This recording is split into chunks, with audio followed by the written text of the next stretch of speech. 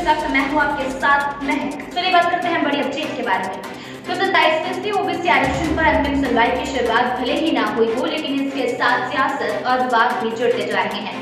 दरअसल हाल ही में अखिल भारतीय ओबीसी महासभा द्वारा एक आवेदन हाईकोर्ट में दायर किया गया है।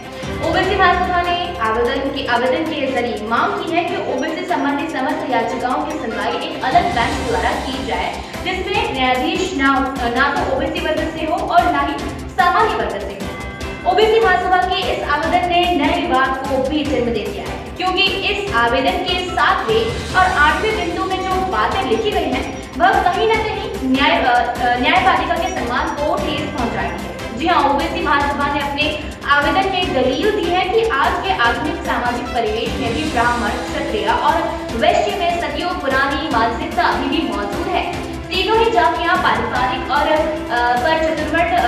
में सबसे ऊँची स्थिति रखती है। जाति प्रथा ने आम लोगों में जाति विशेष को लेकर अवधारणाएँ पैदा कर ऐसे में ओबीसी जाति के हित को ध्यान में रखते हुए सत्ताईस विद्यार्थी के मामले में नई बेंच गठित की जाए, जिसमें न्यायाधीश न तो ओबीसी वर्ग से हो और न ही सामान्य जाति के, क्योंकि ऐसे मामलों में सामुदायिक हित छुपा होता है। बहरहाल, इस मामले पर सात अक्टूबर को ही कोर्ट सुनवाई करने जा रहा है। वहीं देखना दिलचस्प होगा कि न्यायपालिका को कटघरे में रखने वाले इस आवेदन पर न्यायालय क्या अभिमत देता है? और ये था अब अपडेट। इस तरह की तमाम जानकारी और लगातार हर छोटी बड़ी अपडेट के लिए बन रही है वॉइस एमपी के साथ। जय हिंद, जय भारत।